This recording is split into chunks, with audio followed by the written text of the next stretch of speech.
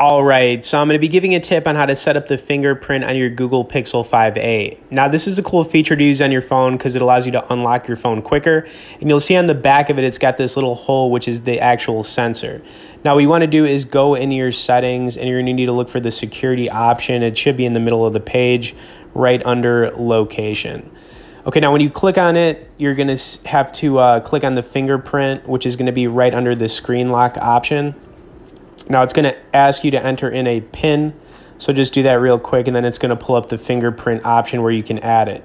Now what you want to do here is just click add and then you want to hold your phone up and then just use one of your fingers to tap on the back. Now sometimes it doesn't register the tap correctly so you might have to, you know, do it a few times. But, you know, it's about 10 different taps then you can click done and you're basically good to go. Now, I do recommend doing more than one finger because you're probably going to use, you know, a couple different ones whenever you're trying to unlock your phone. So I'm going to set one more up here and then I'm going to lock the phone up and then we're going to unlock it using our fingerprint.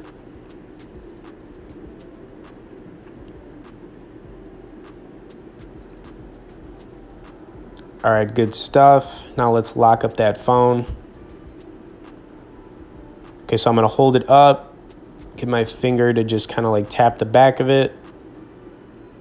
And boom, there we go, guys. Pretty cool, right? I'm going to do it one more time.